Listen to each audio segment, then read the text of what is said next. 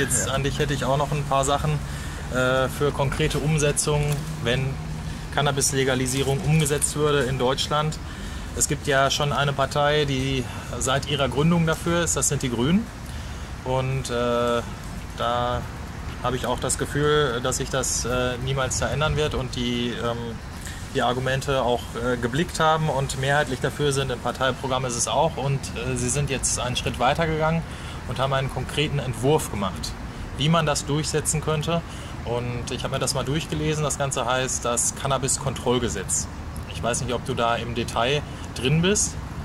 Ähm, ich habe es auch gelesen, ja. Ja, äh, gibt es irgendwelche Kritikpunkte, die du daran hättest oder ähm, Ansätze, wo du sagen könntest, äh, da könnte man noch was machen oder da hätte ich noch eine Idee oder würdest du sagen, das unterschreibe ich zu 100 Prozent, äh, das wäre auch mein Ansatz und wir könnten das zusammen mit den Grünen übernehmen, überparteilich. Also Im Prinzip könnte man das Cannabis-Kontrollgesetz äh, so unterschreiben. Also ähm, ich ich glaube, es gibt einige Punkte, die man noch konkretisieren könnte, die vielleicht auch Fragen aufwerfen, äh, gerade bei ähm, Leuten, die da vielleicht eine konservativere Einstellung zu haben. Ähm, auf die könnte man mehr zugehen, man könnte mehr auf die Bedenkenträger zugehen und diese Bedenken auch aus der Welt räumen. Aber im Groben und Ganzen äh, ist das Cannabis-Kontrollgesetz äh, zustimmungsfähig. Darf ich da nachhaken? Inwiefern könnte man auf die konservativen Leute zugehen? Ja, also ähm, von Recht auf Rausch zu reden, ähm, halte ich, also zumindest habe ich die Erfahrung gemacht, dass ähm, das in der Diskussion jetzt nicht hilfreich ist. Ne? Auch ähm, was, die, was die Zugänglichkeit von Cannabis nach einer äh, Marktöffnung äh, anbelangt, auch da kann man äh, vorsichtiger sein. Ob das jetzt äh, Fachgeschäfte nur für Cannabis sind, ob das Drugstores sind, ob es ähm, ähm, Apotheken sind, ähm, ob das jetzt ein Cannabis-Anbauverein ist. Äh, Wie in Spanien, Barcelona, ne? Genau. Aber die wurden jetzt übrigens gerade, die sind gerade stark in der Kritik, ne? Hast ja, du das mitbekommen? Also es, nee, das habe ich jetzt nicht mitbekommen, aber Kritik ähm, äh, vorab gibt es an jedem der Modelle. Und es wird mit Sicherheit kein perfektes Modell geben. Also wenn wir jetzt darüber nachdenken, was wäre der perfekte Zustand für den Verkauf von Alkohol, da fällt uns wahrscheinlich auch nichts ein, was nicht irgendwie noch auf irgendeine Art und Weise missbräuchlich wahrgenommen werden könnte oder was äh, durch Unvernunft, die wir ja nun nicht kontrollieren können, halt von den Menschen ausgenutzt werden könnte. Es gibt immer den Erwachsenen, der Alkohol kaufen könnte und an Jugendliche weitergeben könnte. Das Problem werden wir bei Cannabis auch nicht lösen, indem wir es in, nur in bestimmten Läden verkaufen oder indem wir es ab einem bestimmten Alter verkaufen.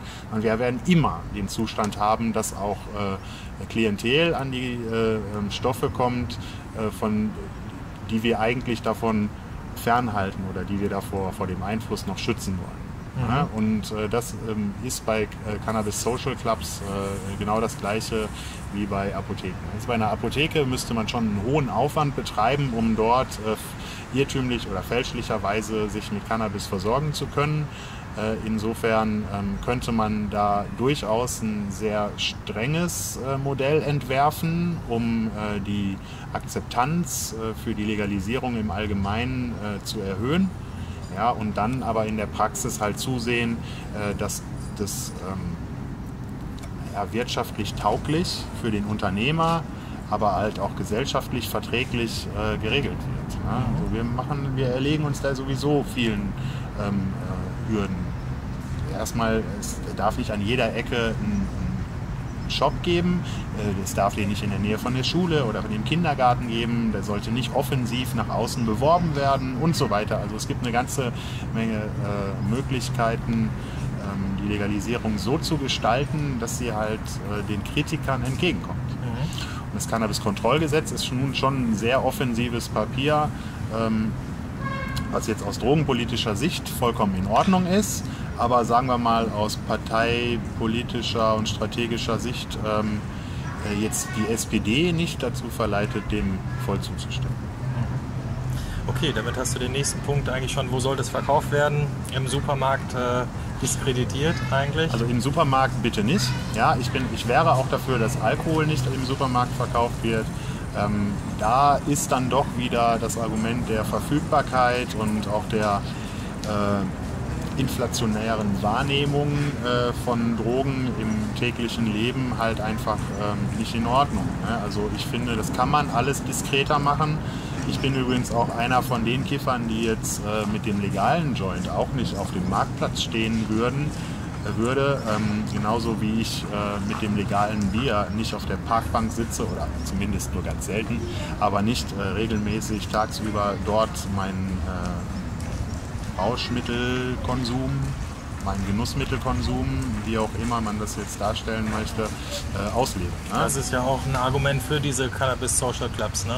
dass äh, halt die Leute gewisse Orte haben, damit sie nicht irgendwo äh, auch in die Öffentlichkeit ausweichen können. Ne? Also ich äh, halte die, die, Cannabis Social Clubs für eine sehr romantische Vorstellung eines äh, äh von, von einer kiffenden Gemeinschaft. Ja, die bauen ähm, ja auch selber an. Ja, das äh, ist auch wunderbar, aber ich, ich fände, es gäbe durchaus Möglichkeiten, das Ganze irgendwie anders zu gestalten. Also ich sehe keinen Grund, warum Cannabis nicht in Fachgeschäften oder in, in Drugstores äh, äh, zu haben ist. Wie in Holland. Äh, aber eben quasi. auch das, äh, die Samen und äh, die, das Anbaumaterial und dass auch Cannabis in einem gewissen Rahmen jeder zu Hause anbauen darf. Das ist schon wieder eine Frage, der du vorweggegriffen hast. Äh, und zwar, ähm, ich meine, dein Zettel liegt da auch offen, aber ich habe es äh, jetzt einfach. Das, es führt halt einfach.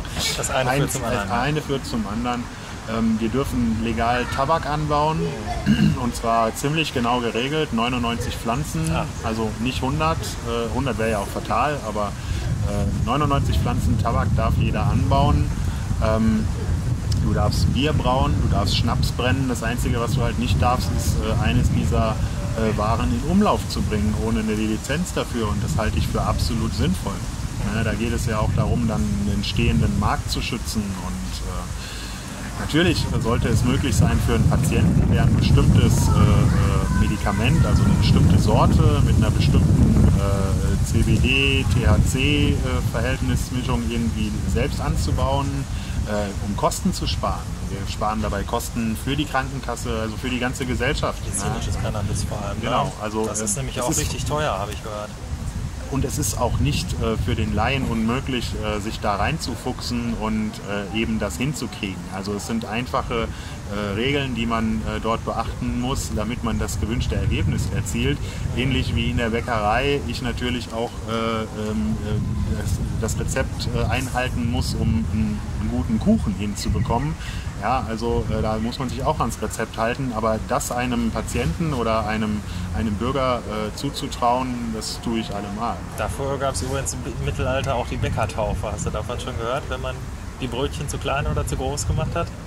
Bäckertaufe, verlinke ich mal später. Mach das mal. Ja. Harte Sache auf jeden Fall im Mittelalter, wenn man die Brötchen falsch gemacht hat. Aber vielleicht wäre es heute bei Cannabis auch eine gute Sache. Auch wenn ich ein ganz mieses Gras anbaue, ob mit oder ohne Lizenz und ich verkaufe das meinen Kunden, ob legal oder illegal, die werden mir aufs Dach steigen, wenn das der letzte Mist ist. Mhm. Absolut klar. Okay, jetzt habe ich noch eine konkrete Frage, äh, was nicht äh, direkt mit dem Konsum zu tun hat, sondern eigentlich mit den Folgen. Und zwar ist es ja bei Cannabis so, dass ähm, das immer so eine Halbwertszeit hat. Ne? Es wird irgendwie ähm, erst schnell abgebaut, aber dann immer langsamer. Also es ist so eine Kurve, die flacht so ab und äh, es hält sich noch sehr lange. Und äh, da gibt es ähm, ja die Sache, dass man äh, bestimmte Grenzwerte auch hat, äh, ab, man, ab denen man nicht fahren darf. Und äh, das hat irgendwas mit 1 Nanogramm oder sowas zu tun. Und das wurde letztens erhöht, habe ich. Das äh, ist, das ist der erhöhte Wert. Der wurde tatsächlich verdreifacht.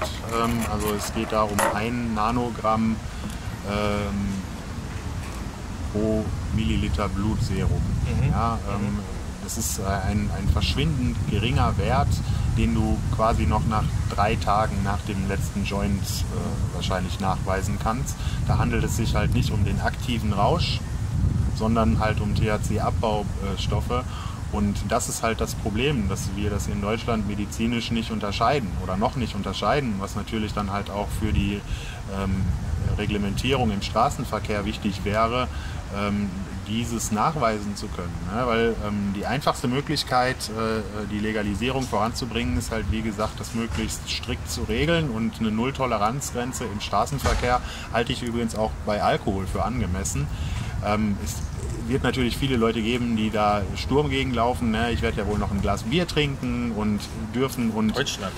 äh, ja, äh, darf man und ich finde, ähm, äh, das Ding ist allerdings, es ist halt äh, im Moment noch nicht nachweisbar oder nicht messbar ähm, und da stößt halt äh, die Justiz an ihre Grenzen. Ne? Also wenn wir sagen, wir möchten Nulltoleranz im Auto, im Straßenverkehr haben und jetzt ist aber bei, äh, bei den gängigen äh, Prüfverfahren immer THC nachweisbar, selbst Tage danach, dann ist uns allen klar, dass der jetzt Karate nicht unter dem Rauscheinfluss steht und äh, aber äh, es macht halt äh, juristisch und medizinisch keinen Unterschied. Klar, wenn dem einer hinten drauf fährt und der äh, messen wir, dass der vor drei Tagen Schuldfrage äh, ist was geraucht hat, dann ist der schuld dafür. Ja. Ähm, wobei es gibt dieses Mess Messgerät jetzt. Ne? Und zwar Kanada hat ja äh, die Legalisierung beschlossen und die treiben die auch voran. Cannabis ist legal erhältlich und die haben auch eine sehr strikte äh, ähm, Nulltoleranz im Straßenverkehr und dafür wurde ein, ein Gerät entwickelt, ähm, äh, das, den, das den THC im, im Speichel nachweist. Ah, Und zwar halt äh, äh, schon sehr differenziert. Ne? Also da geht es um ah, übrigens auch andere Drogen nachweist, ähm, aber nur aus den letzten Stunden. Ja? Ach so. Also da werden Ah, keine ja. Abbaustoffe, sondern da werden halt aktive im, in der Schleimhaut äh, sich befindliche Stoffe nachgewiesen. Ah, ja. Äh, es ist also in dem Moment klar, der hat äh, gekokst, gekifft und Gott weiß was und äh, dürfte eigentlich kein Auto führen. Übrigens witzigerweise wird dieses äh, Gerät von einer deutschen Firma hergestellt, von Ah. einer deutschen mittelständischen Firma, die ähm, das Gerät wurde in Kanada zugelassen. Also es gäbe es, es, ja, genau. Es gäbe, es gibt genug Möglichkeiten, das Ganze ähm, auch in Deutschland ähm, hieb- und stichfest äh, zu, zu kontrollieren. Okay, äh, jetzt hätte ich noch äh, eine letzte Frage und zwar eine vielleicht ein bisschen haarige. Und zwar habe ich mich zwar über das Thema unterhalten, über Cannabis und ich habe sie gefragt, ob sie schon mal in ihrem Leben gekifft hat. Und ihre Antwort war, nein, das ist doch verboten.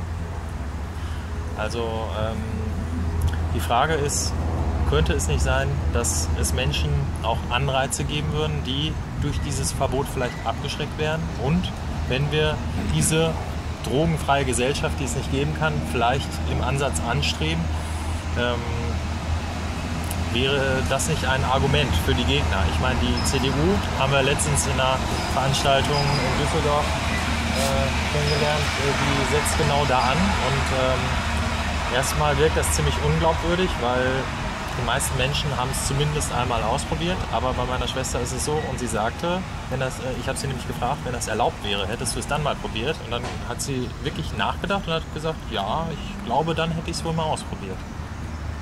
Ja, ähm, mit Sicherheit gibt es Leute, die da vielleicht dann eine Hürde sehen, äh, die es nicht ausprobieren, weil es illegal ist. Ähm, das ändert allerdings ja dann überhaupt nichts daran. Ähm, also sie sollte viel mehr überlegen, probiere ich etwas auf, aus oder nicht aus, weil es gefährlich oder nicht gefährlich ist. Aber nicht, äh, ob es legal ist oder nicht. Also ich finde es natürlich gut, wenn Leute sich an Gesetze halten. Das sagt aber immer wenig darüber aus, ob das Gesetz sinnvoll ist. Ne? Insofern, ähm, ja, kann man so sehen. Andererseits müsste man dann auch sagen, es gibt doch bestimmt auch ganz viele Leute, die es nur machen, weil es illegal ist und die werden es dann vielleicht nicht mehr machen, weil es äh, äh, äh, dann auf einmal legal ist. Ähm, ist natürlich Quatsch, so eine Aussage. Aber ähm, wenn ich die eine Aussage äh, für ernst äh, nehme, dann muss ich die andere ja auch irgendwie in Betracht ziehen.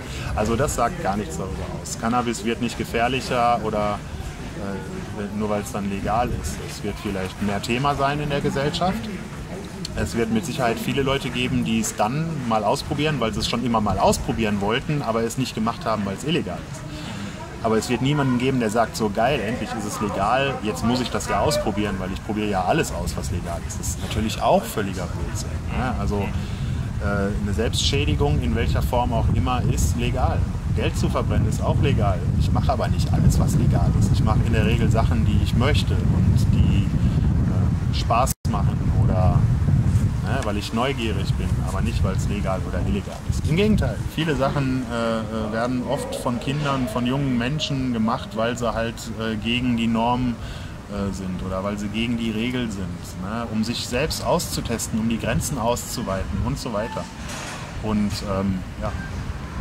Ja, eigentlich äh, sollte das meine letzte Frage sein, aber ähm, wo ich gerade auf Düsseldorf gekommen bin, das ist ja die Veranstaltung, wo wir uns äh, zum ersten ja, Mal genau. getroffen genau, haben. Äh, da hast du mit äh, drei anderen Parteivertretern, und zwar von FDP und Grüne und CDU, diskutiert zur Legalisierung von Cannabis. Da möchte ich jetzt nochmal kurz draus, drauf kommen.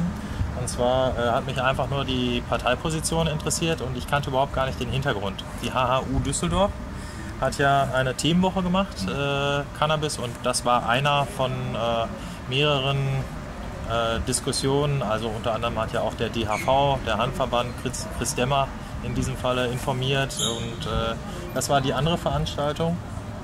Und äh, da ging es ja darum, um dieses Modellprojekt, von dem ich eigentlich äh, vorher noch gar nichts gehört hatte. Und äh, vielleicht kann Michael dann nachher auch nochmal in die Diskussion mit einsteigen mit Modellprojekten. Die gibt es nämlich auch zum BGE. Darüber haben wir nämlich auch überhaupt gar nicht geredet.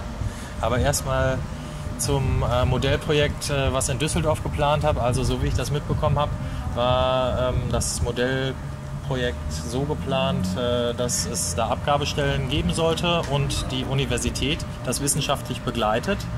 Und äh, die Universität hat aber gesagt, das ist äh, von der Politik nicht gewollt und nicht durchsetzbar, deswegen macht eine wissenschaftliche Begleitung keinen Sinn.